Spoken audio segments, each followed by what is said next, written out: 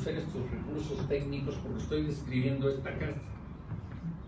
Por si no les diría yo una serie de payasadas, es que él lleno de emoción hizo repetir las enseñanzas de Malevich cruzados con Theo von los grandes del constructivismo ruso y holandés, y además imitando a Tony Garnier en el Abre y qué sé yo. No, él quería hacer esto y está escrito en esos momentos en la revista Cemento, número 17. Claro, es fácil que yo haga bromas con esto, porque lo conocí hace muchos años. Y ahora ya mismo me resulta obvio. No los invito a que lo busquen, pero lo pueden buscar, está en la biblioteca, en las bibliotecas. Ahí él describe por qué lo hizo. Entonces yo para decirlo tengo que ir a lo que él dijo dándole la oportunidad que haya dicho de buena fe eso, pero a lo mejor era un bandido, nos quiso engañar y esto no se abre y todo. Yo, yo creo que él quiso hacer esto. En este clima, que no es el de la Ciudad de México en aquellos años, es el de esta zona del surponiente que se llama San Ángel y en la parte alta el apelativo inglés San Ángel Inn. Eso a partir de que ahí enfrente estaba la hacienda de Goicoechea, que se había convertido en el San Ángel Inn.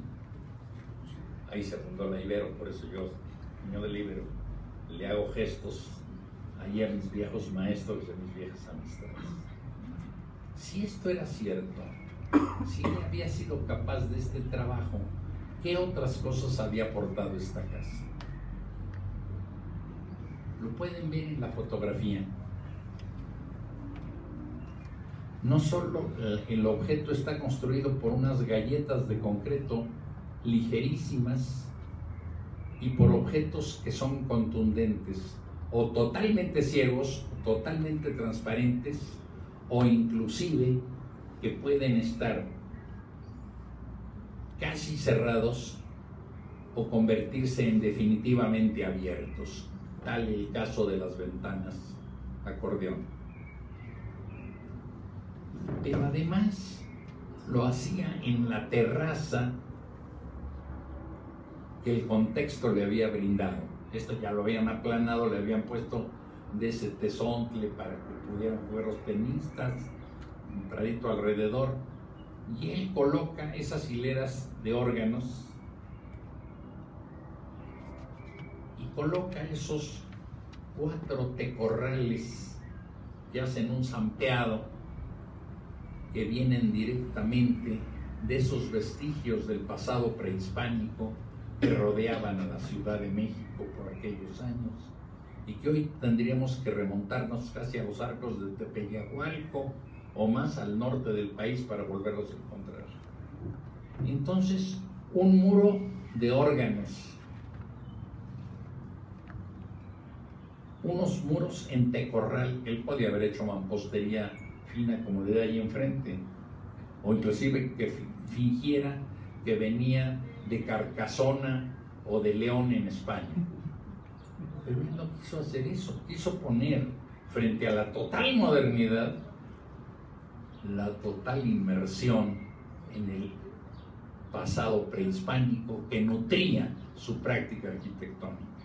Todo eso decía un muchachito de 22 años. Y yo lo recuerdo en la guía de arquitectos de México. Juntaron a todos los arquitectos de México de 1931. Él había terminado un año atrás esta casa y se retratan todos vestidos de negro y con pajarita. Chulos. Sus sombreros, todos sus sombreros. Y como van a tomar la foto, se lo ponen en la rodilla, los están sentados, los detrás parados, los atrás, en banquitos.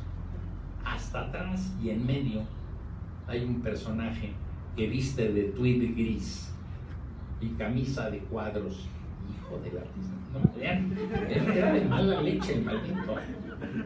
Pero además, que a la hora de la fotografía, a mí me parece maravilloso, se voltea a ver al cielo. y es el único que no ve al fotógrafo, que les dice, pajarito, pajarito, y pi. Se había retratado Juan Or en esta casa y en su actitud, como verán a lo largo de toda su vida. ¿Por qué los quiero meter en esto? Porque es muy difícil hablar arquitectura en un mundo basado en el Fashion Island.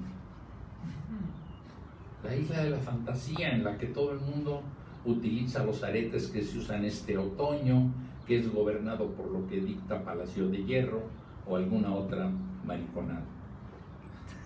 Y nos enfrentamos con un personaje que es exactamente lo contrario. Si lo quieren entender, si no, lo damos por muerto. Juan Orman era un maricón y fuera con ella, no hagamos más. O lo quieren entender, lo vamos a comprender despacito. Primero Juan en esta casa se había atrevido a empezar a explorar qué puede decir la arquitectura. Entonces,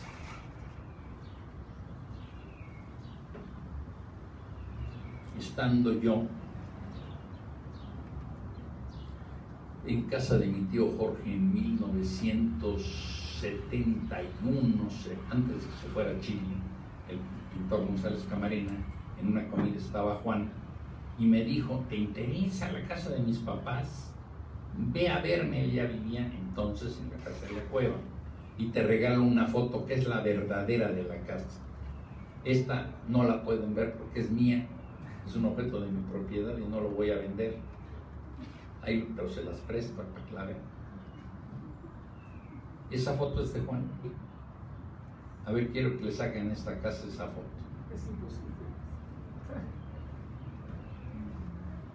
Me parece extraordinaria. Dejé el dibujito repetido para que pudieran ver perfectamente el que él pone el énfasis en lo único que no les quise decir de la casa.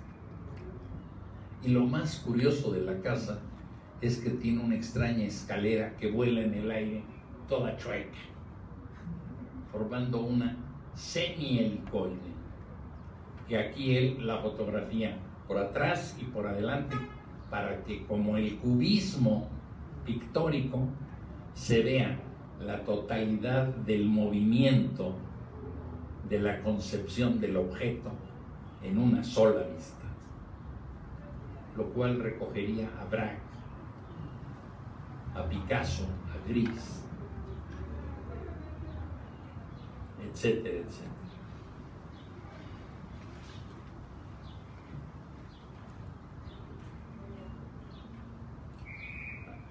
Yo, el día que me la dio, estuve a punto de cometer la majadería que ustedes se pueden imaginar. Uno es siempre generalmente un imbécil. A mí se me ocurrió, agarro el cúter, lo corto y la emparejo a que cada esquina quede en donde le toca y no que quede acomodada. Hasta que conocí en el libro de Ida Rodríguez Frampolini las pinturas deconstructivas de Juan Oro.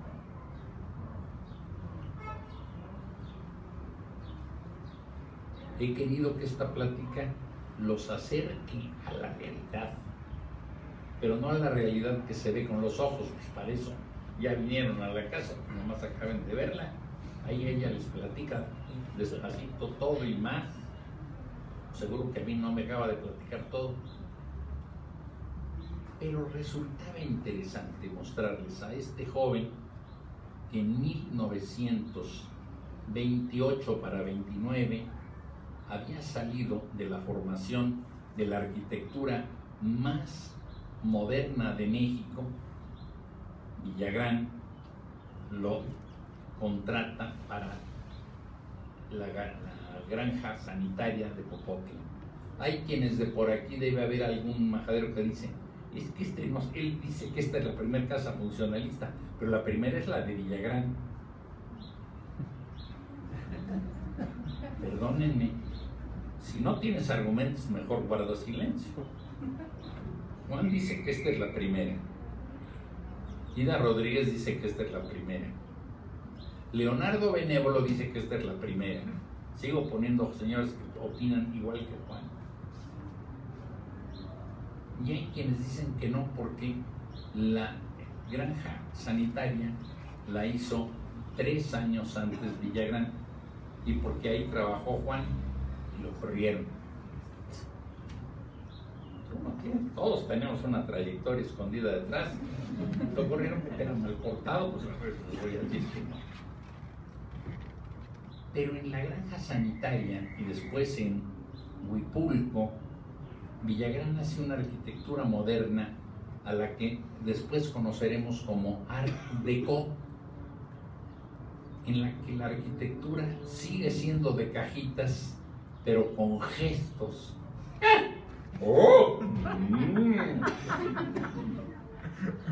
Pero aquí no, aquí estábamos ante una radicalidad profundizada. No acudir a ningún recurso en su defensa. Solo se defiende por lo potente de su razonamiento. Las habitaciones al sol de la mañana, el estar de día a los soles del mediodía y la tarde, en el portal, en la sala de estar vespertina, tomando detrás de los árboles los últimos rayos de sol, diría Juan, que se filtran en una copa de té. El que no me crea, yo ni, les quiero vender nada no espero volver a verlos nunca, que no va a pasar nada, porque soy muy viejo, no crean que porque no con nada, esta es la última. Veamos el método de Juan. Me brinco a la casa de Manuel Tucen. La tienen enfrente de ustedes planta baja, el mismo portal, el mismo muro curvo dentro del portal, la misma organización para convertir al poniente en surponiente. Y arriba, nuevamente, un espacio, el, el análogo de este, que se encuentra ahora recogido por una sola ventana que destruye la caja cortándola en las tres caras,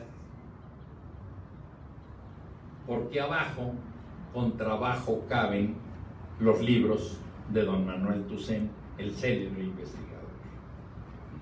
Lo demás es una casa igualita que esta. Y me gustaría que vieran con cuidado qué bonita es la forma en la que él bota un cuerpo para que la que lava la ropa le toque techito. ¿Cómo le deja el baño? Todavía no es muy distinguido, pero ya. Y en cambio, cómo a la cocina le hace una protuberancia para que quede el boiler. Ustedes ni saben qué es un boiler, pero en el, los, los más de mi edad puede que todavía se acuerden si es que eran de colonia de clase media eran unos tubos de metal y adentro tenían un serpentín de tubo por el que pasaba el agua y adentro se le metió un combustible que al calentarse hacía que hirviera el interior de la, de la espiral y eso hacía que el agua al calentarse subiera y llenara otro depósito y alimentara al baño. Por lo demás, la casa entra a un vestíbulo que sube a planta alta o entra la estancia orientada hacia el sur y un comedor orientado hacia el jardín trasero. La cocina con entrada independiente y una habitación para la doméstica que tiene la misma orientación que las recámaras de la familia. El método de Juan. Al que le parezca, le parece, y al que no le parezca, pues no le parece, ya está. A mí me parece que es una de las casas más bellas, todos los tubos de fuera, para poderlos revisar, si no después el plomero tiene que meterle cincel a la pared, hombre. Eso déjenselo a Geo esas empresas inútiles. ¿Lo estoy inventando o lo están viendo? A mí me parecía que era muy bonito. Las circulaciones en el ombligo, en medio, para evitar recorrer. Asómense a la espalda del caballero. Ahí, no está ahí el descanso. En el corazón, todas las luces del perímetro de la caja. Pero ustedes me dirían, bueno, pero esto, usted es un hablador, pues esto es, es la casa de un intelectual mexicano. Pasemos a ver los nuevos agregados. Juan cuenta en sus memorias en el libro de Luna Arroyo o también en los informes de Ita Rodríguez Prampolini que conseguí que Diego viniera a ver mi casa. Y estando aquí, Diego me dijo, ¿y por qué no me haces un estudio y una casa igual que esa? La ventana me permite enseñárselos ahí Don Cecil tenía razón. Era más astuto que su hijito. Menos arquitecto, pero más práctico. Porque ya había colocado el terreno en que se le había ido la lana y hasta con ganancia hacía una obra que pasaría la historia de la arquitectura, cobraría sueldo y vendía el terreno. Por todos lados el, viejo Cecil es una y le hace la casa a Diego. Yo nunca he admirado más una casa en el fondo. Él tampoco, Juan tampoco. Era realmente bonito. Era la misma que esta, pues, ¿por qué nos hacemos tarugos? Las mismas ventanas, el mismo orden, el mismo manejo de la casa, las mismas galletas, los mismos 10 centímetros. Pero en ella él hace algunos descubrimientos nuevos. En la foto que está más oscura, que es la única que yo tengo de cuando la casa aún no era intervenida, echarán de menos esos arbolines. yo soy viejito, pues puedo, puedo haber estado en otra época por aquí. Yo vine a estudiar ahí dibujo con Adrián Brun hace muchos años. Verán que la caja de arriba está chueca así por sus puros chones está chueca. las patas, una, dos, tres, la pared, y de repente arriba el edificio se hace así. ¿Por qué se hace así?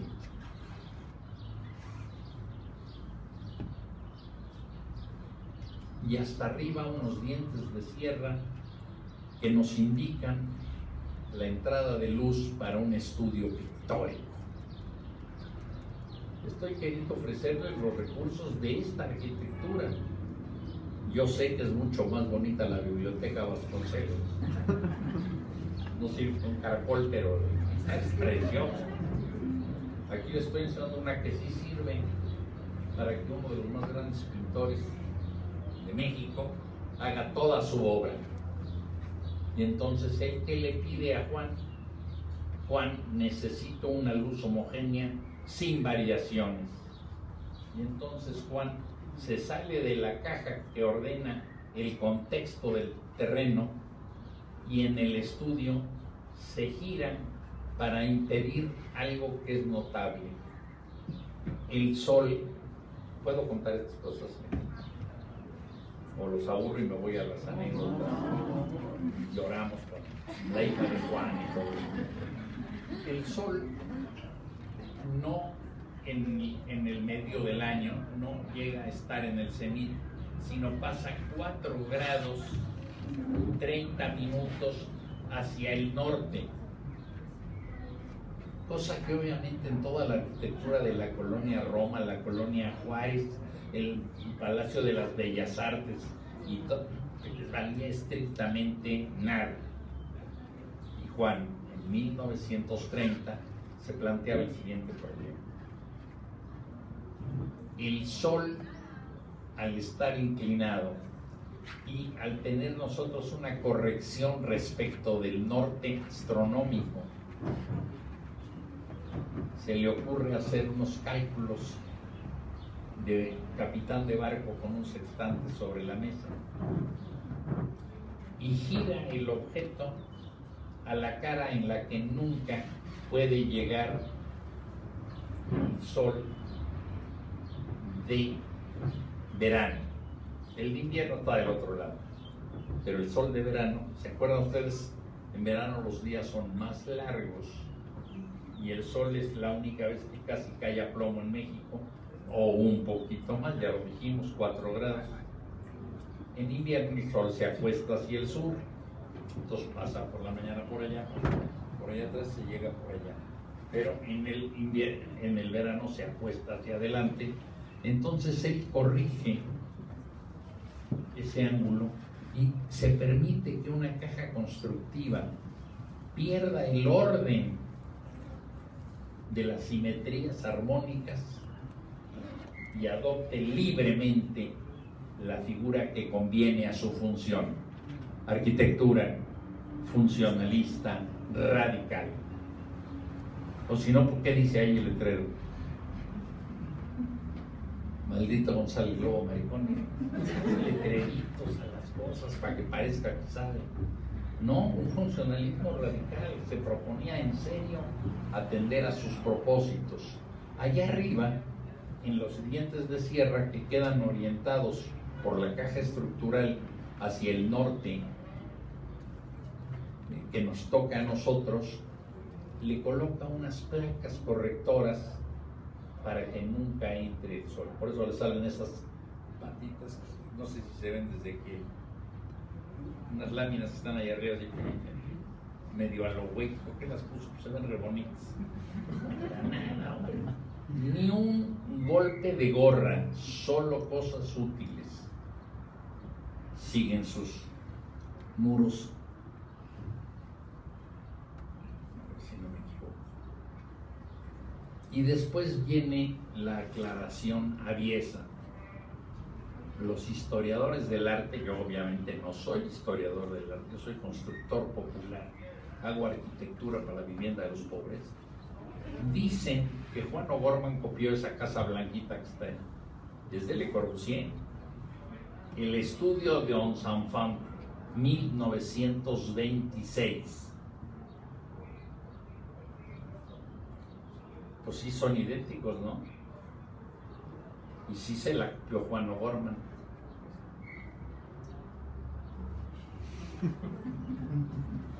Si no saben ver, sí, pues ¿para qué perdemos el tiempo? Pero si sí saben ver, ya vieron la relación entre las ventanas y los dientes de sierra del viejo Le Corbu y cómo tiene que corregir la imposibilidad de que si se le meta el sol con un plafón debajo de la ventana grandota. Y después ya vieron la escalera curva que copió Juan. Hizo una escalera de cuarto de criadas, hombre, no pierdan el tiempo. Un tubo al cual le dan vuelta los escaloncitos, así se llama escalera de azotea. Ahora, por favor, vean la de Juan y cuando salgan, pasen a verla. Solo él se había atrevido a convertir a un helicoide en el tema expresivo del objeto funcional. Juan, las escaleras, lo verán ustedes si me aguantan hasta el final, le inquietaban mucho. No sé qué tenía con las escaleras, alguna versión psicológica o, perversión sexual, pero le encantaban. Pues ya vieron dos, la de aquí enfrente y ahora esta otra. Y a mí me parece que lo hizo muy bien, pero yo digo, con el libro de Le Corbusier, o tomándose la libertad de volver a criticar radicalmente y ir al fondo del propósito. Una escalera que se despliega en el aire y que no se soporta en ningún elemento vertical, como un prodigio tecnológico él puede ofrecerle a la realidad.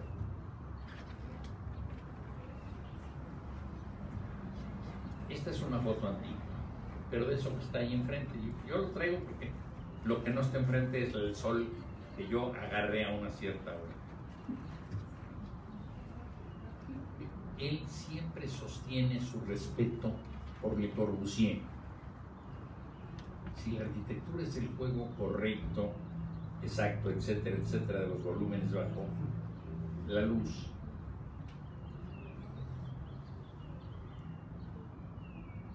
ya vieron lo que le pasa a la casa. O venían a una plática de arquitectura sobre poesía. La arquitectura es arquitectónica, se construye con planos, con paredes, con luces, con objetos, con ménsulas, con, con, ejes de carga, con barandales. ¿Ya vieron el barandal de la escalera? A mí me parece punto menos sorprendente.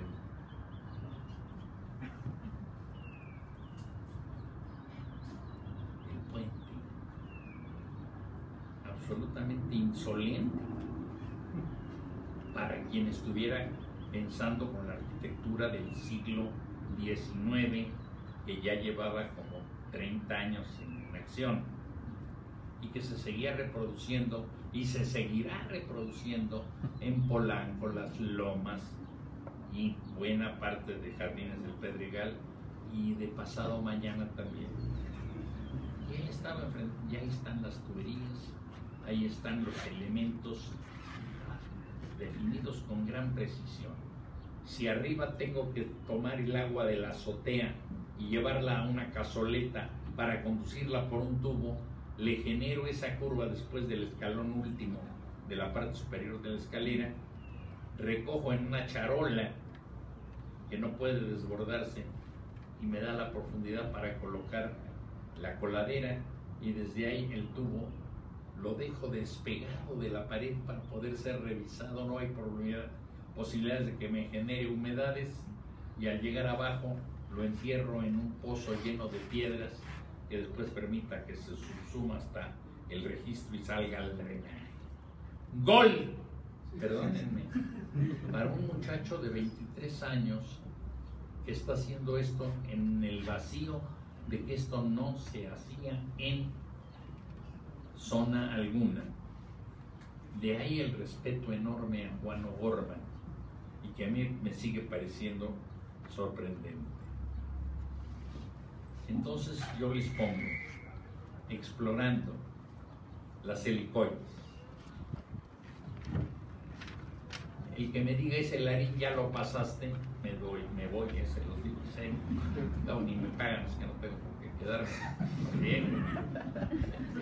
Bien lo que hace este muchacho, explorar la práctica de la arquitectura como exploración frente a la práctica de la arquitectura como obtención de tasas de ganancia mercantil.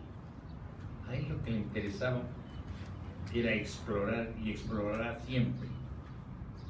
La plática que ahora va a empezar, que apenas hemos terminado la primera etapa, por eso decía que necesitaba mi máquina, es la siguiente. Primero, la demostración del concepto de la vanguardia de la arquitectura contemporánea. Yo sé que mi mujer me va a comer cuando regresemos a la casa, porque se pasó una tarde corrigiendo conmigo un chorro de problemas de ortografía que están ahí mal puestos. Pero ni modo, esa no salió porque encontramos la otra. Las imágenes son las mismas. Ven la casa de Juan en 29, corran hacia la derecha. Esa es la arquitectura del constructivismo soviético en 31 ya vieron la misma ventana en acordeón, ya vieron las mismas galletas, ya vieron las cuatro patitas. Algunas cosas, no hay que negarle a Mocheguín su, su valor, pero curiosamente con quien él estaba dialogando, un muchacho de 22 años en México, era con esa vanguardia radical que estaba en el otro extremo del planeta en medio de una revolución radical histórica que después sería una nueva tecnología. Juan introduce aquí la técnica de la losa encasetonada para obtener un mayor coeficiente térmico y un mayor momento de inercia ante los friccionantes. está en la casa de Frida, está en el estudio, y para probar lo que realmente le interesaba de toda esta exploración, y aquí para mí empieza la parte de que al que no le guste tiene todo el derecho y le pido perdón de antemano por haberle quitado su tarde. El tema de él lo tienen abajo en un dibujito que me robé cuando Víctor Jiménez tenía los planos aquí en el pórtico de la casa de Frida. Me lo robé porque ya las cámaras te permitían pones el plan y sópale, imagínate lo quitas. o nunca han hecho eso ustedes con la cámara.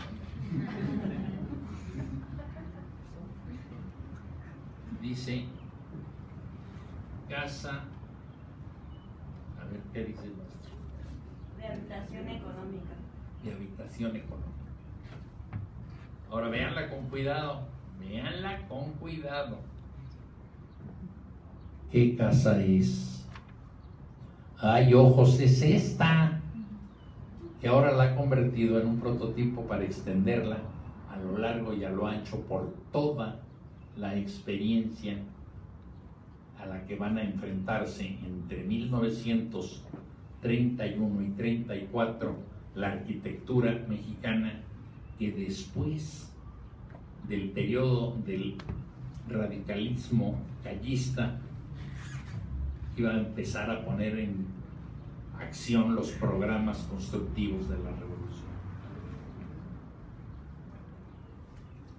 Veamos un plano del mismo 1929, fecha de esta casa. A mí Marisol me pidió que yo hablara de esta casa. Yo estoy probando que hablo de esta casa. Todo el tiempo de esta casa. Aunque ya voy como en 40 imágenes. A mí esta es la que más me. Se llama Casa para los Obreros Mexicanos. 1929. Se la presenta el maestro Gorman a un señor al que quiere seducir y le falla. Se llamaba Narciso Basols.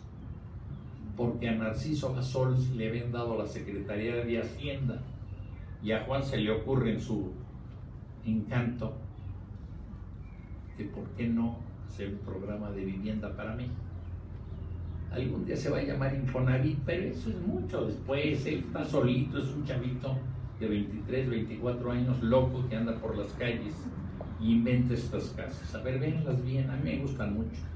Le pone una foto así súper heavy metal, porque la doble maqueta girada la pone así, la voltea, la pone de la otra manera, para que se entienda por adentro. Se trata de una caja de 6 por 5, 30 pero de doble altura, 60. Las de Geo son de 34.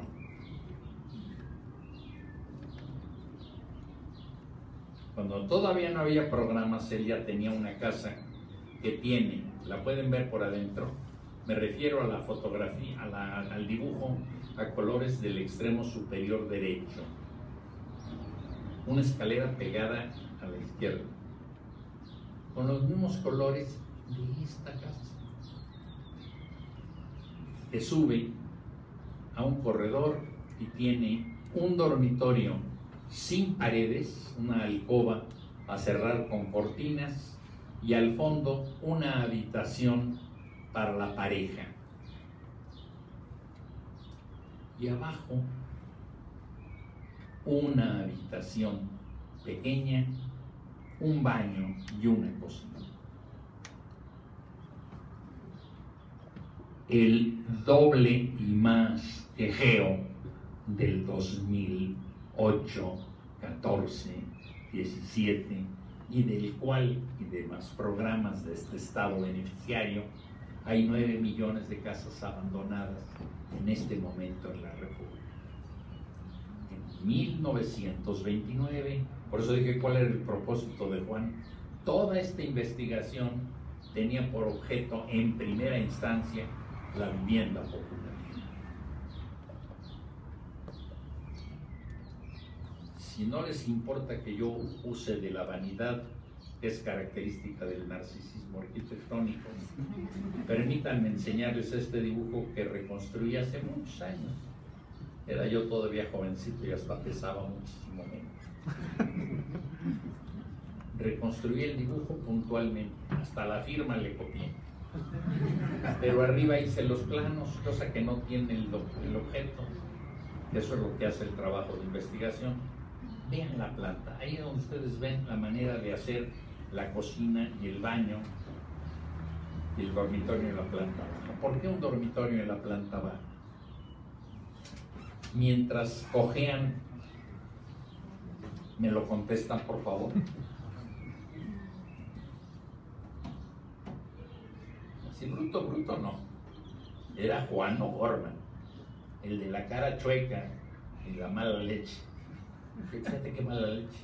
Una vivienda popular que acoge a una familia que puede tener discapacitados.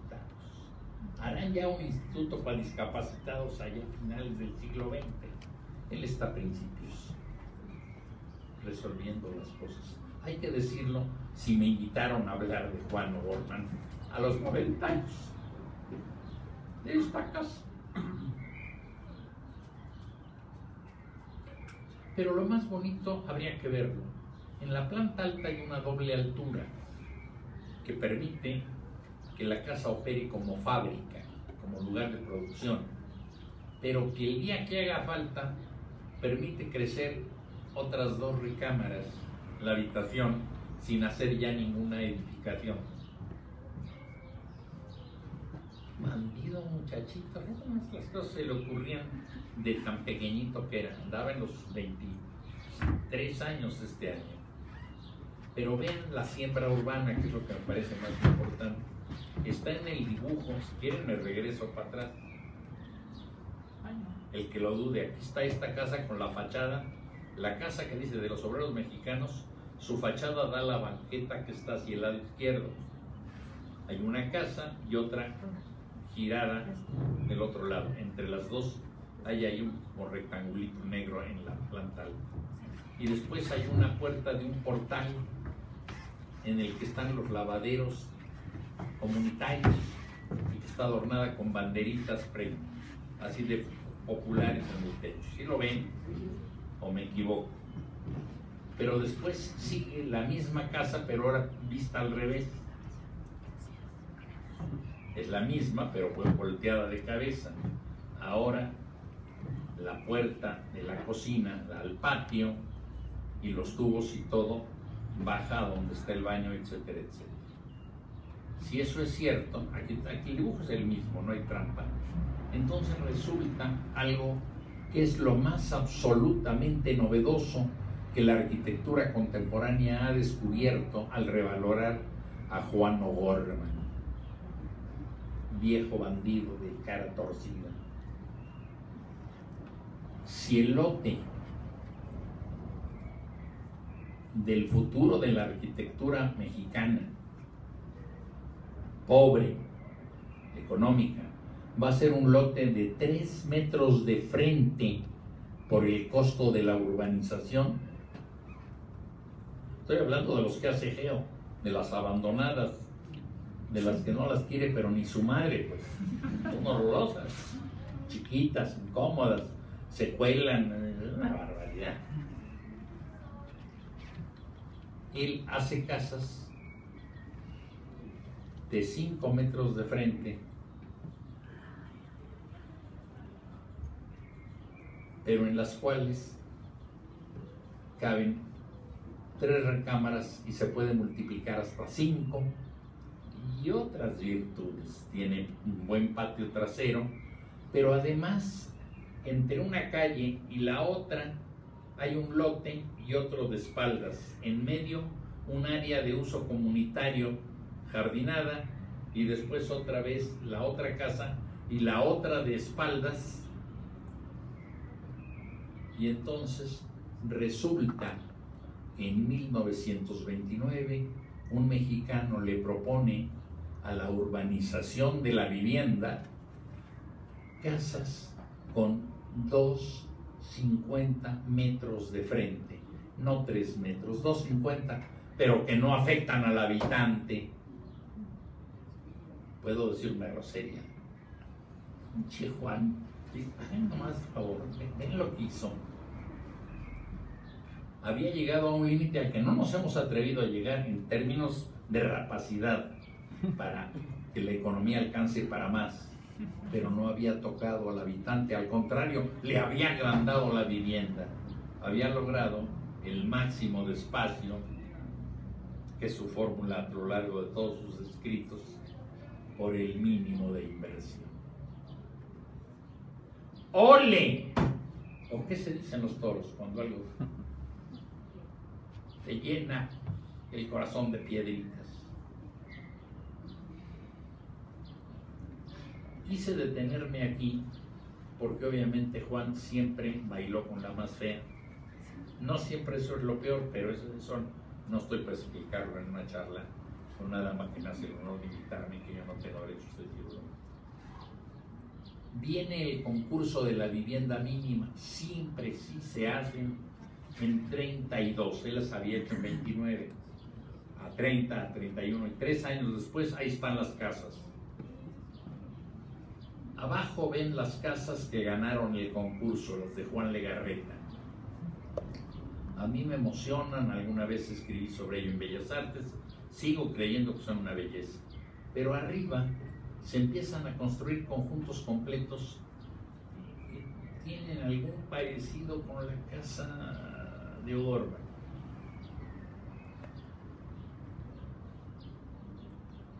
Son de Juan Legarreta está en los conjuntos del 32.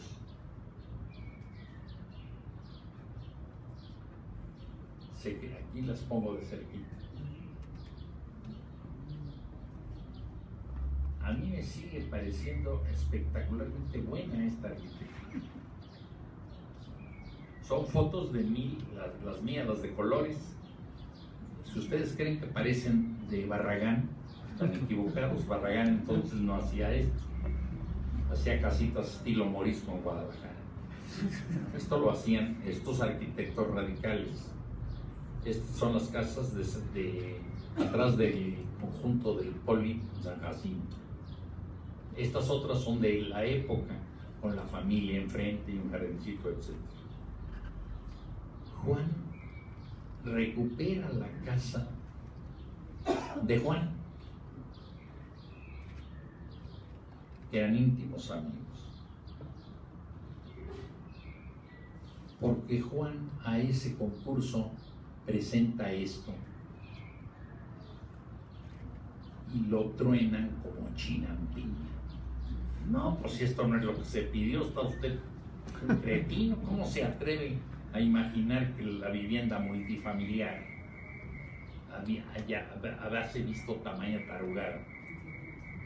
Pero si otra vez no ven, no vean, yo como me pidieron que una conferencia y como no sé si es la última en mi vida, se los enseño. Ya vieron que el edificio va haciendo olas. Espero que haya ganado el León ayer. Si no, el edificio no hace la ola. Por el América nadie hace la ola. Esto para convertirlo en un chascarrillo de vulgar de, taberna. Pero es cierto, ya lo vieron bien. No solo toda la planta baja queda libre para la actividad urbana, como estaba en todos los principios de la urbanística internacional, sino además el cuerpo de la, de la masa está perforado por dobles y triples alturas, con patios interiores comunitarios y alcanzan a ver los órganos de la barda ahí adentro. Es esta casa, no más que ahora apilada, lo truenan, le dan un premio, se llama Exactuo. Eres muy chido, maestro, pero no cumpliste las reglas. Pero no le dicen eres una porquería, no, no no, era una porquería, todo lo contrario. En 34, dos años más tarde, hace el dibujo que sigue. Si lo reconocen, es el multifamiliar al Juárez de Mario Pañi. ¡Gol! Juan O'Gorman. Y todo a partir de una casa que le permitieron a un niño bien que empezara a tomar aire.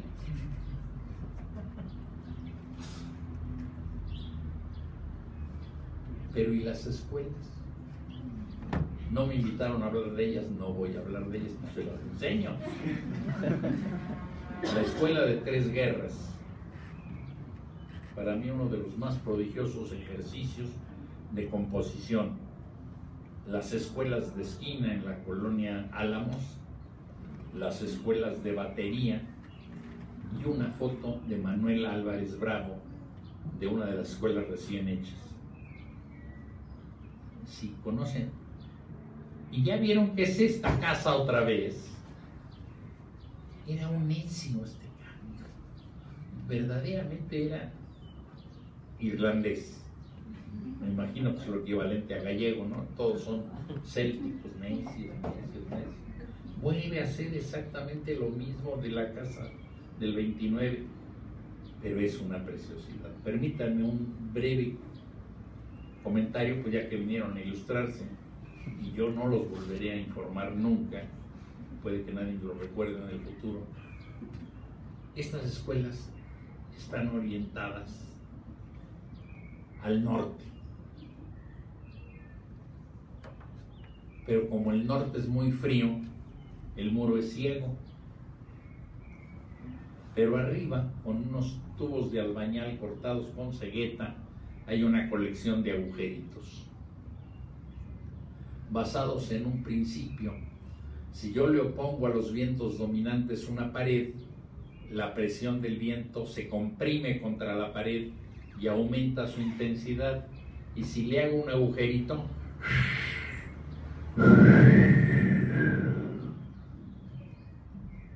pero en la parte alta del salón, dado que las escuelas primarias están habitadas por niños y niñas mal alimentados, a los que los mandan a la escuela nutridos con platos de frijoles. Dice Juan, yo no estoy inventando, es canalla. Quieren que lo explique completo, ya lo entendieron. ¿Y qué creen? No huele. ¡Gol! Juan, estoy planteándoles un arquitecto ante sus ojos.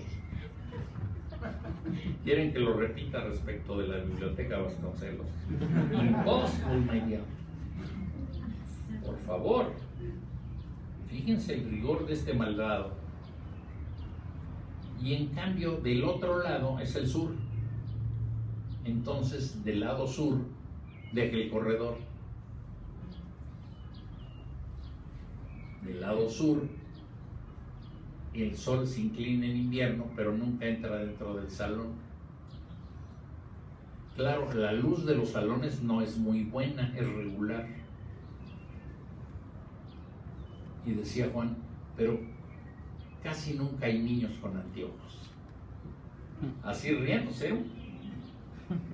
Ya dije era un mal hombre, no sé si eso, decir mentiras no se vale si lo admiro, pero ¿cómo voy a admirarlo diciendo mentiras de él? Se portaba bien, no era mujeriego, nunca tomaba una copa de ron. No, digo nada de él, ni me consta, no sé. ¿Qué voy a saber? Pero vean la astucia de este hombre en esta escuela que dice escuela primaria, que está en el extremo inferior derecho de la foto, es la escuela Melchor Ocampo en Coyoacán.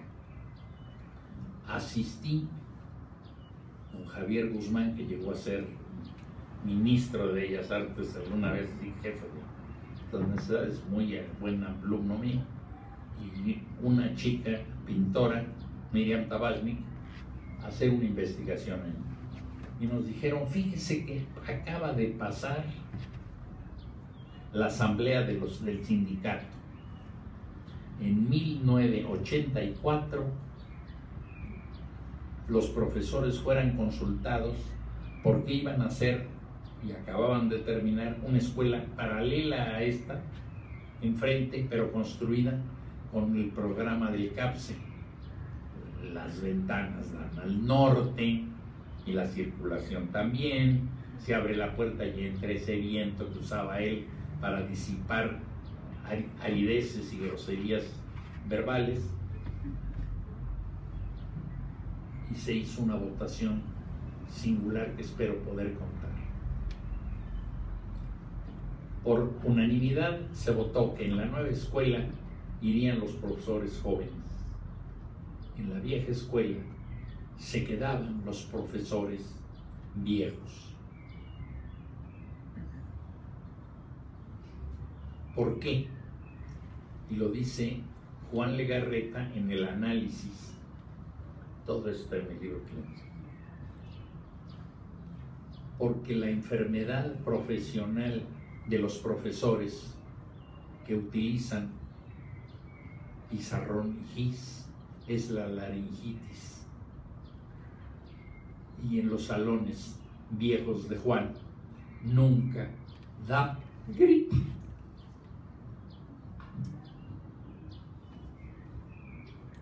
Cada quien hace lo que puede. A algunos les sale mejor. Y están en la primera, estaba explorando. Y ahí agarrando aire el canalla. Sí, señores, es que si no, si no quieren hablar de arquitectura, quieren hablar de corsetería, lencería para damas ricas, maquillaje. Estamos hablando de una producción.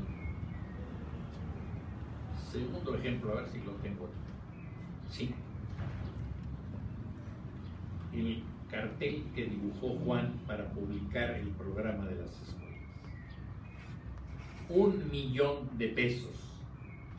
Escuelas primarias 1932. Nueva arquitectura higiénica y económica. Eso es lo que dicen los letreros y son las fotos de todas las, el montaje casi del, del futurismo italiano de Juan. Cuento rápidamente la historia. En 1900. Ya no se oye. Perdón, les pido una disculpa. Qué bueno que usted me avise, porque si no, yo, yo, yo como me oigo a mí mismo y ya estoy viejito, ya no, no, no carburo rápido. Mi, un millón de pesos escuelas primarias. En 1924, el ministro Vasconcelos llamó a Carlos Obregón Santa Cilia y le entregó un millón de pesos oro para que hiciera la escuela Benito Juárez en la colonia Roma, en el nuevo conjunto Manuel M. Anza, donde después se haría el multifamiliar Juárez y todo esto. Yo ahí fui, era una escuela padrísima, un millón de pesos, una escuela. Diez años más tarde, en 1932, el ministro Basols, ahora encargado de educación pública, es ese triste periodo lamentable, diría la Casares, comentarista de la tele, eh, que se llamó de la educación socialista. Le daban un millón de pesos para las escuelas de la Ciudad de México, era lo que disponía Basols. El mismo millón de pesos. Nada más que Basols prefirió llamar a un jovencito que entonces tenía 26 años, 27, y le dice, mira Juan, te voy a hacer cargo de un programa público, pero me vas a hacer conocen la palabra todas. A veces la usamos. Todas. Me vas a hacer todas las escuelas que le faltan a la Ciudad de México.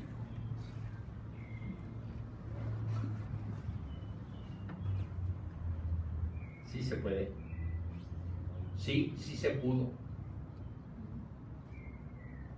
En vez de hacer un proyecto de arquitectura, estuvieron Carlos Leduc, el Domingo García Ramos, Fernando Beltrán y Puga, una enorme cantidad de grandes arquitectos. Agarraron un mapa de la guía Roji, lo pegaron en un cartón, porque lo iban a marranear, y usando un compás vaco y un lápiz bicolor, cuando Juan lo decía, le salía la cara de canalla así feliz. Estaba en lo más alto de su historia. Escogió una herramienta de primaria para proyectar todas las primarias. Si consigue un CAD eh, arquicado, iconaditas de eso, con un Bill Baco, si conocen los Baco, ni funcionan, se te chuecan, son y mandó a investigar con sus jóvenes, Carlos Leduc entre ellos, todos, dónde estaban todas las escuelas del Distrito Federal. Y les puso un radio de acción. Si el niño sale de su casa, que no camine más de 700 metros a la puerta de la escuela. Y entonces abrió un compás con 700 metros y donde estaba el puntito azul de la escuela, el color tiene azul y rojo, le hacía un círculo azul y, le quedó un mapa cacarizo de círculos azules y entonces con el mismo compás abierto en el mismo ángulo estoy enseñando arquitectura a los jóvenes que haya por aquí alguno que quiera aprender arquitectura. Ahora todos luego lo platican las cosas. Se puso a buscar a dónde debería de quedar el centro rojo de un círculo rojo. La educación socialista roja. Hay mala leche detrás de él. Es un canalla. Pues. Nunca esperen de él buena fe. Pero, ¿qué creen? Y las hizo todas. Con un solo millón de pesos las hizo todas y llenó la Ciudad de México de escuelas. Eso nunca había sucedido y nunca volvería a suceder. A eso lo llaman los religiosos un milagro. Y Juan fue. Y por eso pongo esas escuelas. Son pobres un argentino las llama la arquitectura del pobrismo mexicano. Pues es cierto. Son pobres, pobres, pobres. Ladrillo y aplanado, muros de 14, moduladas en el ancho de un muro de ladrillo de 15, 15, 30, 60, 90, 3 por 3, 3 por 6, 6 por 9, un aula. Y además crecen se pone en el centro una unidad de baños, la tienen abajo en la foto bonita. Un muro excusado para niñas, usado para niños. Lavado para niñas, lavado para niños. Y en la planta alta, lavado para maestra, lavado para maestros. Del lado del oriente, las niñas. Del lado del poniente, los niños por razones mágicas, seguramente de Om, alguna cosa de los mudras búdicos. Y en la orilla, los salones con material deportivo y bebederos. Ahí los ven ustedes los bebederos. Eso es todo. Y en, en medio ven la hora la foto que dice escuela primaria, la de abajo, y ven una puerta, o ven la de arriba y ven una puerta, en medio un eje circulatorio que termina en una escalera en cuyo descanso, antes de regresar a la planta alta, le encarga algún pintor, Máximo Pacheco, cualquier otro de estos grandes pintores de la corriente de Diego Rivera y los Fridos y esto, un mural. Entonces toda escuela tiene un mural mexicano, tiene una dirección y un salón de maestros, está arriba en las rayitas del de la planta baja y también en el de la planta alta. Y por los otros lados el block con los agujeritos a las ventosidades y del otro lado los corredores. Y ya. Creces nueve metros, un salón. Entonces tú puedes tener tres de niñas y uno de niños, y ahí empieza la escuela. Si le surge, pues hacen otro de niños. Y otro, y después de la planta alta, y otro, y otro, y otro, y otro, hasta que la escuela alcance por su propio crecimiento su plétora. Así con un millón de pesos y un programa estricto que había empezado en esa columna y en estas losas. Juan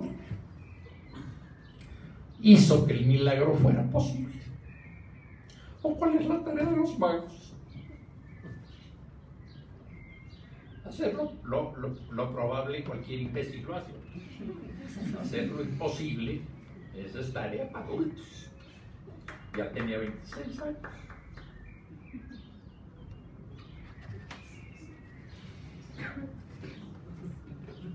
El declive. Yo nunca lo consideraría el declive, algunos así lo consideran.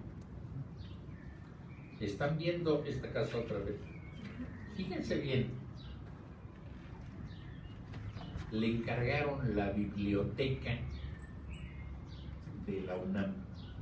No le encargaron la rectoría, ni la escuela de Derecho, ni la de Medicina, ni la Facultad de Ciencias.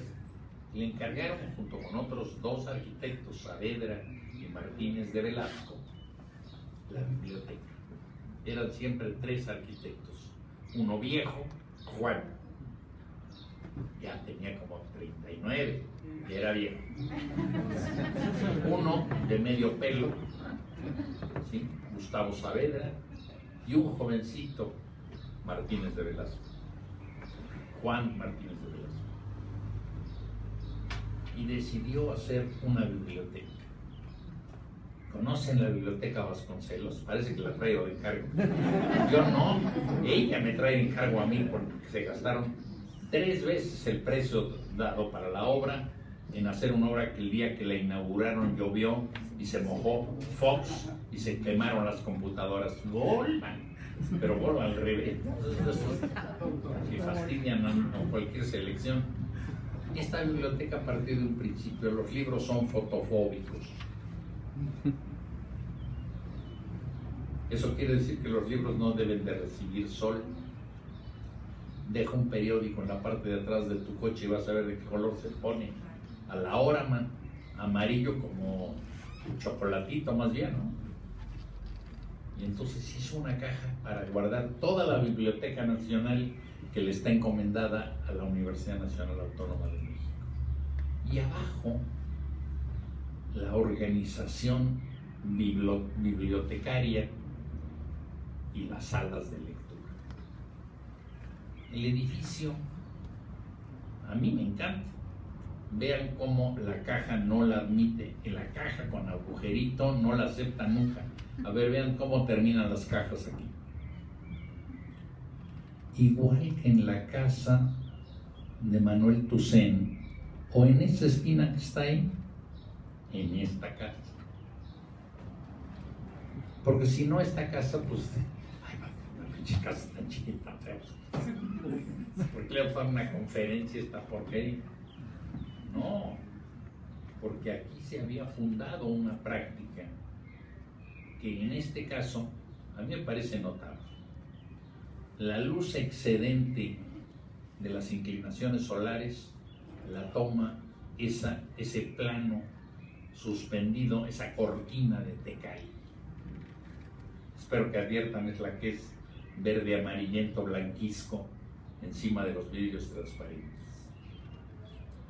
Todas las habitaciones son exactamente iguales a las de aquí afuera. Una ventana de pared a pared y abajo un antepecho en el que hay una banda con murales como me recordabas tú hace rato. Same thing, my dear. Era medio bruto.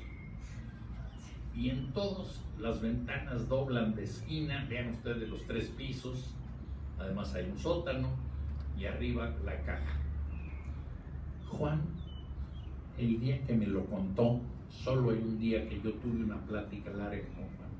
Dos veces más lo llevamos a la escuela antes de que muriera. Decía algo que a mí me parece vergonzoso contarlo en público, por eso lo cuento. Porque no es vergonzoso para él, sino para nosotros. decía, bueno, yo en realidad nunca he pensado que esta sea la mejor arquitectura del mundo. La biblioteca de Nuremberg parece una gringa vestida de charro, edificio nórdico con piel de muralista. No era cierto. Un plano medio a la luz para investigadores y lectores normales, una caja de acervo absolutamente hermética en el centro y recubierta por una caja de olinalá, que es el cofre en el que en la tradición de la cultura mexicana las abuelitas guardaban su ropa y los objetos más valiosos. Como era la historia de México, la cajita acá cuenta la historia de México, en el pasado, del presente y del futuro, el lado prehispánico, el lado... Y a mí no vengo a hacer conferencias de, de rollo. Sin embargo, lo que me parece difícil contarles es lo que él decía. Pues yo realmente digo, tampoco creo que esté mal, está bien. Pero no sé por qué cada vez que en el mundo ponen arquitectura mexicana, ponen la biblioteca. Hijo de la pismana. Más presuntuoso y más grosero. Porque además decía la verdad, es que esto es lo que te molesta, indignante, pero para nosotros. Él decía la verdad. Ahí están los carteles, ahí están los libros todos. México, biblioteca de, de la UNAM. Había hecho, lo puse ahí, la obra maestra de la arquitectura mexicana del siglo XX. Esta frase se le atribuye, y yo la escuché de su voz, a don Enrique del Moral, que en 1933 fue a las pláticas de arquitectura del Colegio de Arquitectos, en el que Juan defendió la arquitectura funcionalista y decía don Enrique esa tarde, ese día decidí no volverle, puedo hablar con libertad, como si estuviera en la universidad. Soy un pelado, aviso de una vez, porque voy a decir lo que dijo Enrique del Moral, con licencia de él, y lo dijo en público. Yo ese día decidí no volverle a hablar a ese hijo de la chingada. Era la sesión para conmemorar que se había muerto Juan.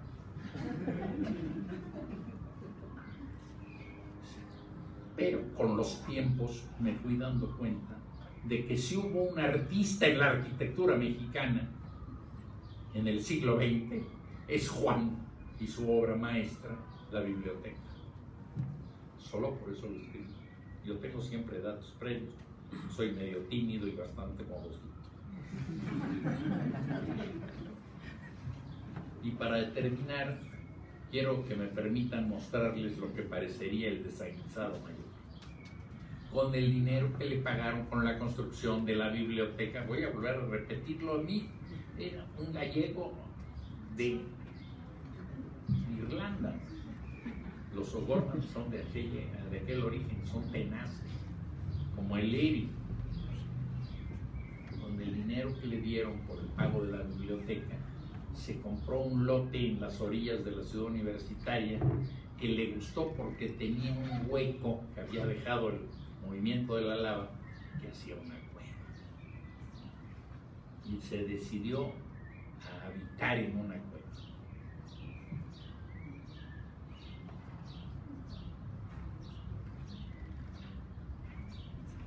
En la foto de la derecha, con los murales que había explorado en el, edificio de la biblioteca, que no los quise explicar ahora, pero tienen una virtud, es el único mural al aire libre que no se deteriora. Por un ensayo y un trabajito que él inventó y que le hubiera valido otros doctorados, pero que fundamentalmente le funcionaban y eso era lo que importaba. Él era hijo de mineros. Desde niño coleccionaba piedras y de ahí surgió su habilidad para juntar piedras del mismo color y hacer mosaicos con piedras. Y ahí ven el resultado si te aplicas toda tu vida. Ahora no tenía que hacer las escuelas ni la vivienda populares. Ahora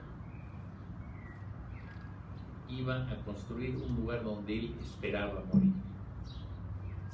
Lo vemos, Juan enseñándole a su hija a dibujar en el patio de su casa.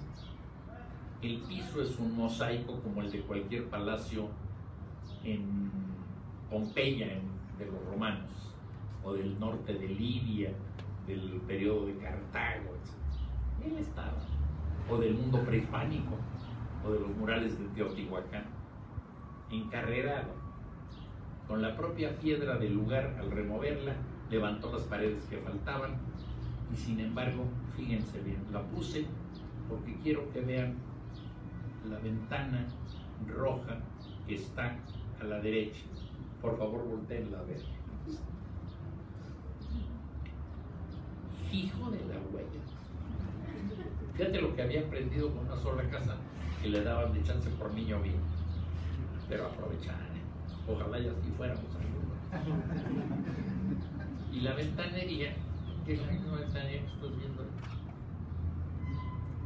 La cueva sus desafueros plásticos y una galleta de hormigón que detiene un acordeón.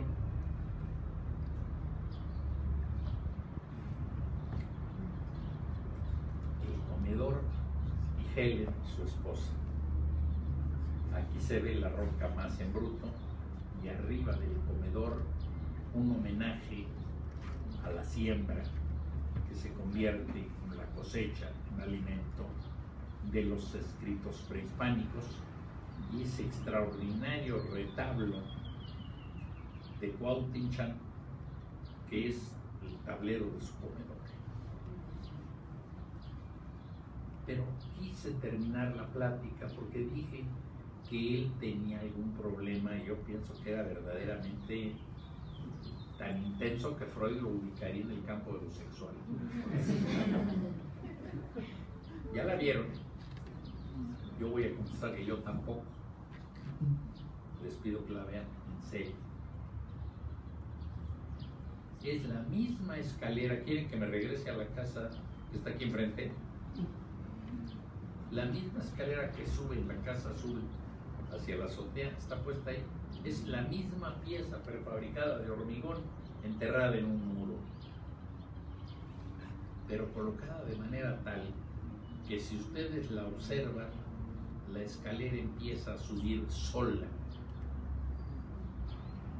Y al llegar a la mitad,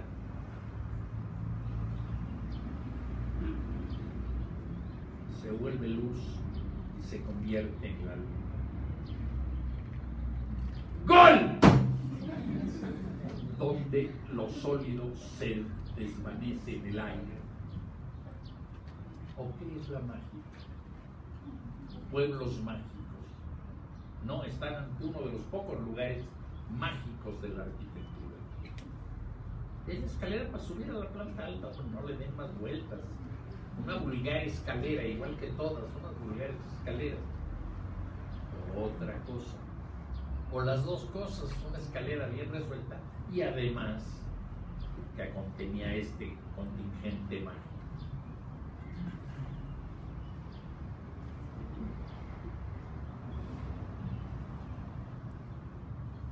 Esa es la verdadera casa.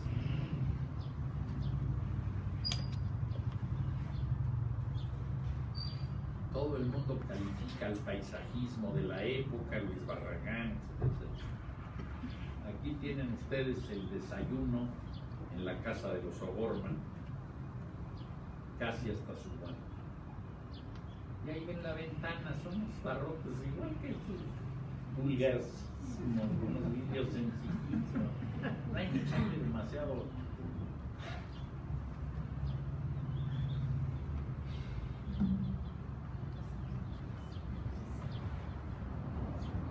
Me encanta autorretrato. Puse la foto en donde él sigue teniendo la camisa que siempre soñó. Porque el pintor de la camisa de cuadritos azules se ve en un espejo para copiarse.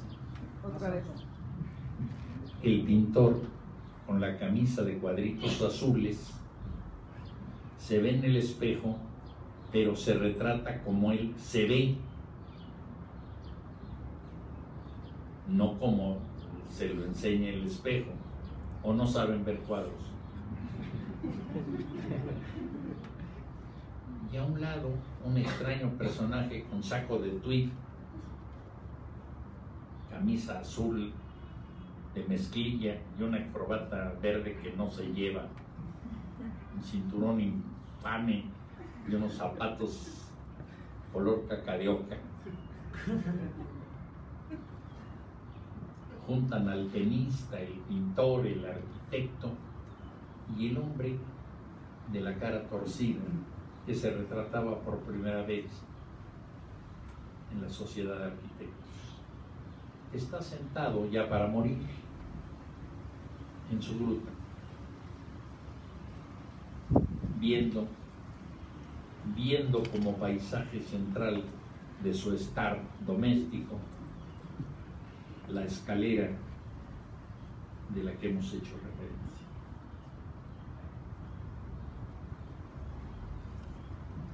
Si esto es cierto, escojo este cuadro de Juan O'Gorman para terminar esta exposición. Es una torre de piedritas apiladas que se llama El nacimiento de Venus. Y es un homenaje a ese hombre que está en un retratito de rancho, de esos de elipse chiquitita, de foto de credencial, con un bordecito de bronce para guardarlo en el altar de los recuerdos, porque es el factor Sherlock. Entonces, con el perdón de ustedes, un último bailecito y nos vamos. El factor Cheval,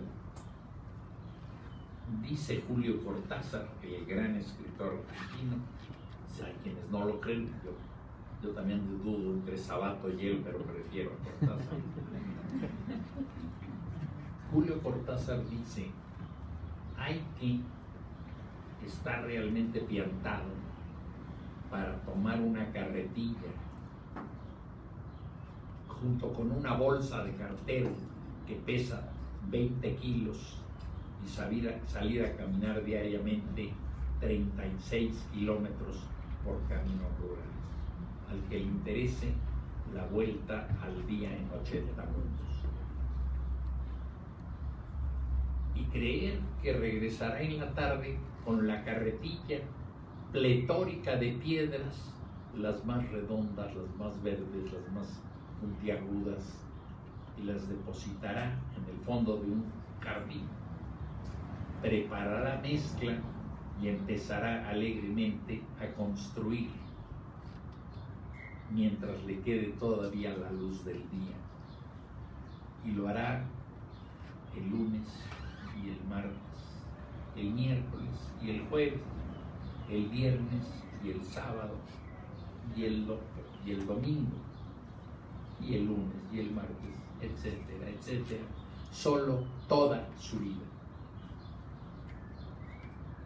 En 1946, André Malraux declaró al factor Cheval patrimonio de la cultura francesa. Y en 1971 la UNESCO lo declaró patrimonio de la humanidad. En 1957 Juan O'Gorman, sin calificaciones previas, le dedicaba su amor, que además está perfectamente evidente.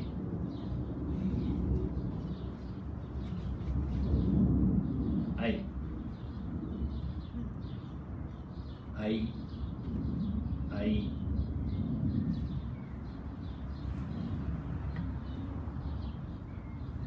No sé si haya preguntas o curiosidades. Yo les he entregado mi versión del maestro.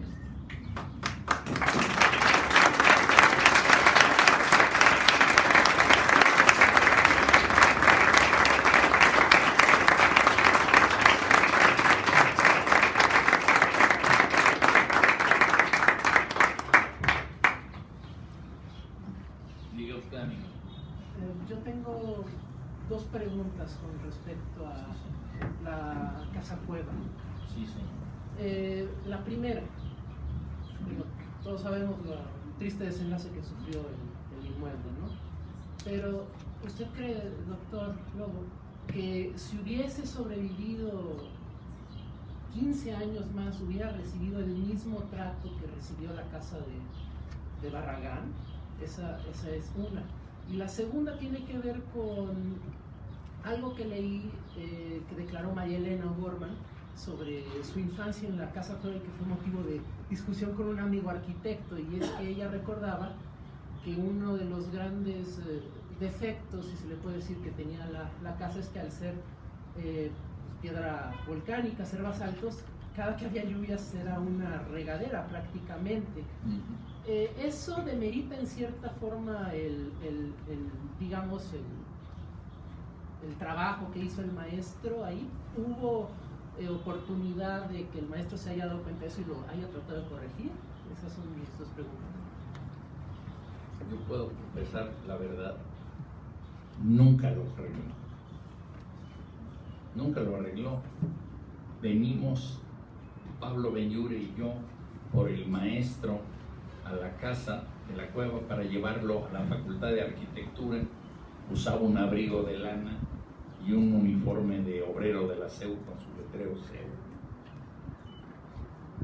Y lo subimos a mi humilde Volkswagen y olía chale, a humedad.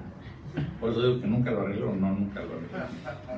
Pero la pregunta sería si esa es la pregunta. Su planteamiento es el siguiente. Ahora que llueva, ¿usted cómo le va a hacer para llegar a su casa?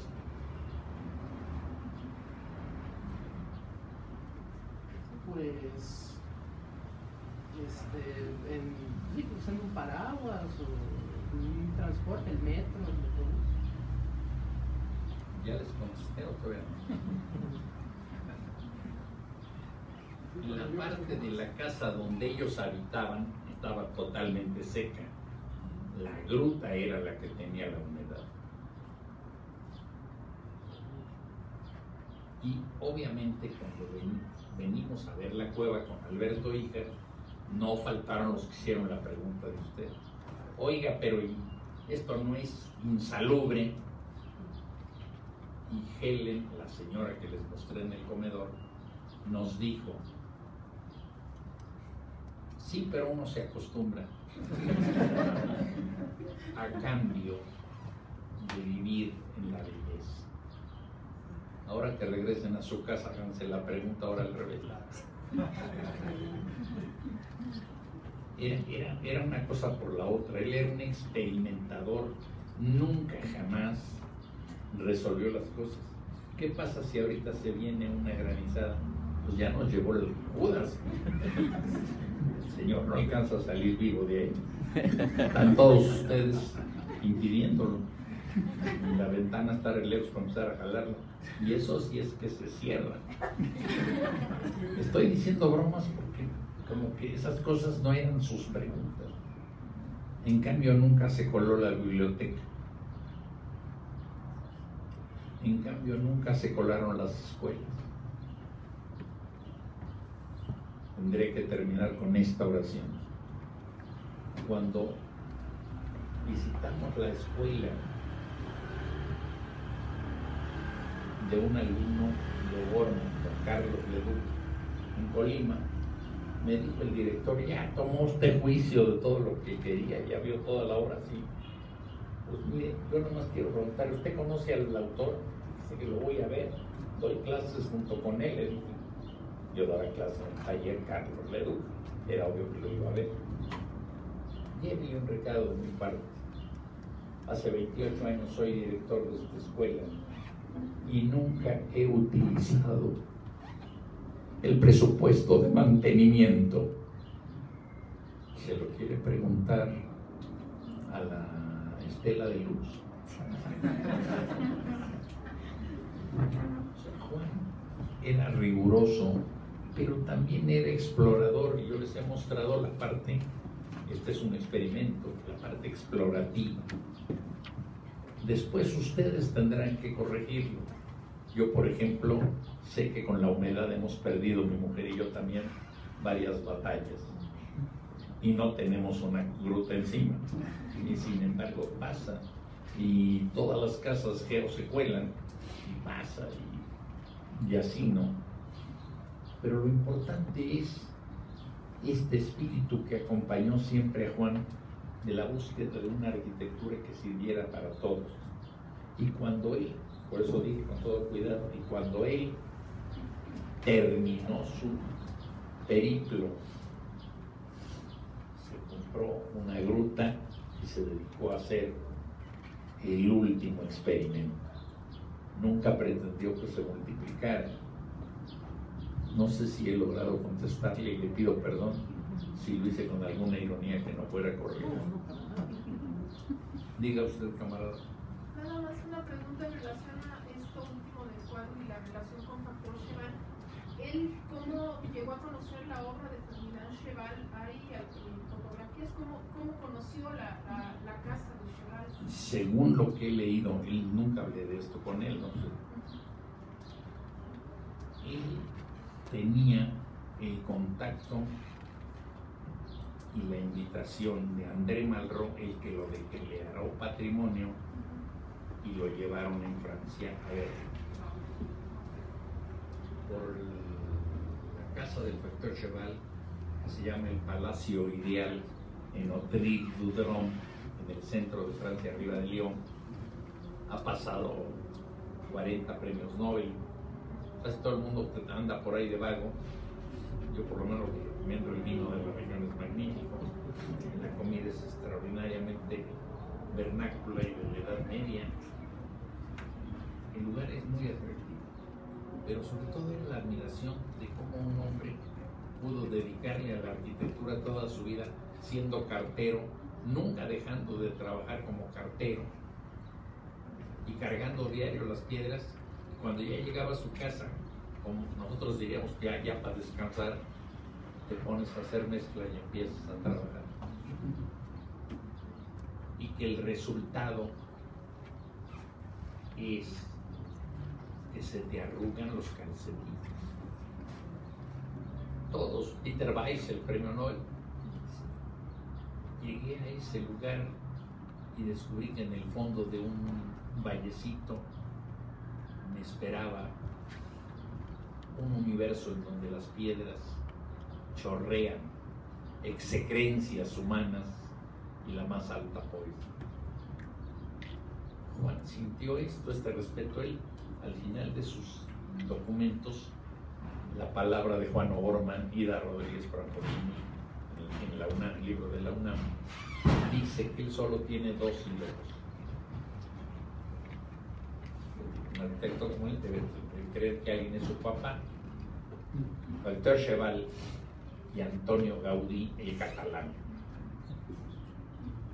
Ya Ray y esto, ya, ya los vemos a su nivel, ¿no?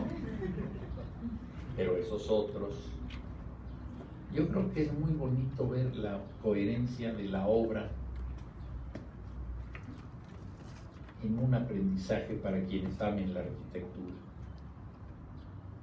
enamorado del color como un elemento que activa el espacio, estudiando cuáles son los límites para que el espacio exprese o contenga o albergue la vida humana o las actividades que de él se desprenden. A mí me llena especialmente de entusiasmo que cuando él tuvo que decidir entre los niños que no les pasa nada y las viejitas que se mueren de efisema pulmonar escogieran las maestras. A mí se me hace de tal calidez, entrañable, diría yo, con un lenguaje que vendría de España y no de México. algo que se te vuelve de ti, decir, ¿cómo este viejo fue capaz de atender ese tema? Y cuando usted regresa a estas casas y descubre esa preocupación, porque entren a, los cuartos, por favor. no ofrecen más que simplemente sol, luz y armonía. Lo demás depende de tus muebles, de tu acomodo y sobre todo y esencialmente, y esto es lo bonito de esta arquitectura, lean por favor la palabra de Juan Oro, de la relación del bienestar de los habitantes entre sí. Es apoyado por el edificio y no impedido, pero depende de la actitud incontrolada, solo insinuada por la arquitectura de libre albedrío de los habitantes. Cuando le tocó hacer su última obra importante, a Juan le encargaron una obra que nadie conoce, o que todos la conocen y no saben qué es de él. Cuando Diego Rivera, su maestro y querido amigo, hizo con él el Anahuacal y qué sé yo, la casa de Frida en Coyoacán, el estudio de Frida es de Juan y todo. Cuando Diego pelea con Trotsky, Juan ya era trotskista. Esta parte no era de la conferencia. Pues lo tengo prohibido, pero lo voy a producir de todas maneras. Juan ya era trotskista. Y cuando Fridita estaba enamorada de León Trotsky, le escribe en una carta que descubrió Javier Guzmán aquí enfrente. Moncher León, la malvada culebra mexicana se le andaba resbalando ahí desde la revolución. Sí, pero dos meses más tarde prestaba su camioneta donde la transportaban porque ella era invalidita para que un grupo dirigido por Siqueiros fuera y le partiera la N al viejo Trotsky. Y Juan siguió siendo trotskista. Era solo un ejemplo más que no podía yo usar en el estudio arquitectónico, porque es exactamente igual que todo. Él siguió siendo trotskista. Mientras que Frida y Diego ya habían conseguido el perdón de la Unión Soviética. El último cuadro de la infame Fridita es ella sentada junto a Stalin. Stalin pintado con las patas, horroroso. Y ahora ella, con Cher León, ahora era enamorada del asesino de Trotsky. Juan, no. Yo no digo que esté bien ni que esté mal, es para que conozcan al hombre. Y entonces, cuando queman a León Trotsky, le encargan a Juan la última obra, el túmulo funerario de León Trotsky en la casa de León Trotsky en Coyoacán. Y lleva su firma, vuelvo a repetirlo, unas galletas de hormigón, etcétera, etcétera, en medio de resonancias prehispánicas para que los huesos del cadáver exhumado sean conservados. Y ahí está la urnita, y ahí está la posibilidad de unas tabanderas en que ondee una bandera roja con la hoz y el martillo al revés, porque es de la Cuarta Internacional. Era un necio, era un diablo. Cuando lo entrevistó la maestra de Garay, que está en los libros de testimonios de Bellas Artes, dijo, mire, si el país volviera a ser igual, yo volviera a hacer las escuelas igual. Era un necio. Entonces ustedes tendrán que admitir que, vinieron a escuchar hoy no una lección o un discurso sobre la arquitectura, sino sobre el comportamiento de un arquitecto y sus hallazgos.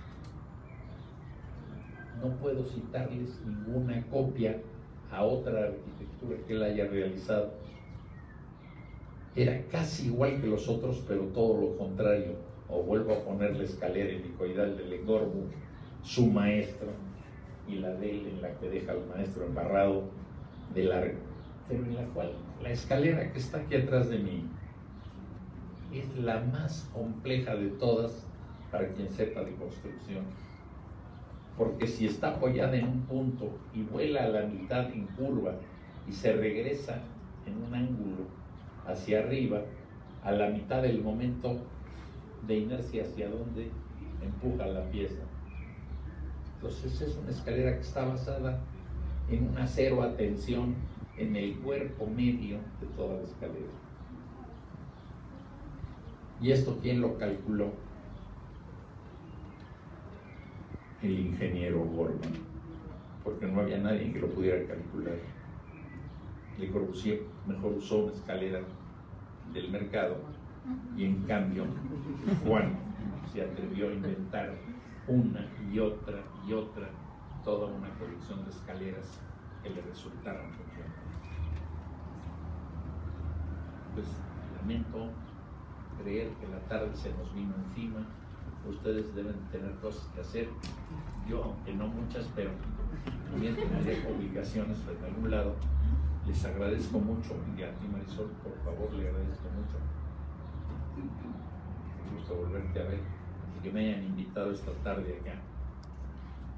Si hay todavía otra pregunta, la respondo y si no, diga usted, camarada. Este, no sé si nos podría hacer alguna, algún comentario sobre la última casa donde vivió Juan, que creo que es por aquí, como en relación con esta que fue su primera y la última. Pues atrás de esa casa anaranjada, pero en la manzana que sigue, se llama la calle Jardín número ay, 37 o 39, 82. Jardín 10. Jardín son un número muy chiquito, no sé cuál.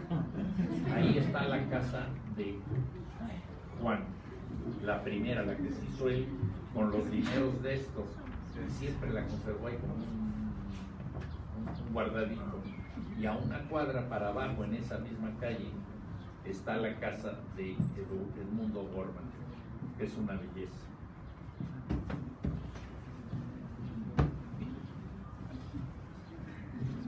Pues yo les agradezco que me hayan regalado su tarde a dejarme desahogar mis necedades quedo muy agradecido de verdad a la casa y estudio de Diego Rivera por haberme invitado. Muy buenas tardes.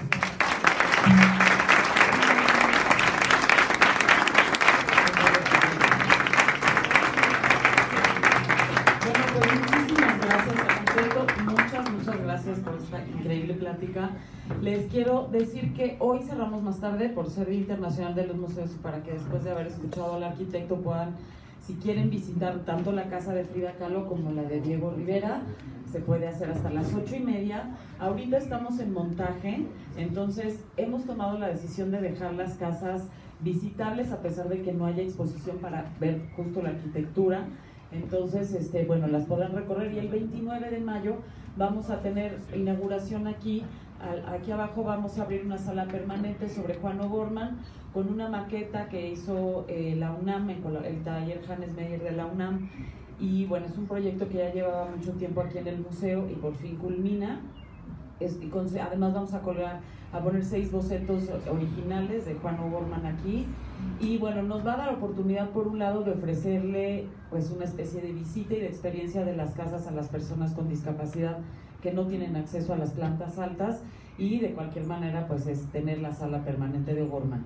Y todo esto va a suceder, más otra exposición de Michelle Sabeaya el 29 de mayo, ojalá puedan acompañarnos y bueno, pues quien quiera visitar las casas adelante. Muchas gracias. Así tenemos, Starbucks nos hizo el increíble regalo de patrocinarnos café por si quieren acá llevarse también un café, solo no adentro de las casas, por favor. Gracias. what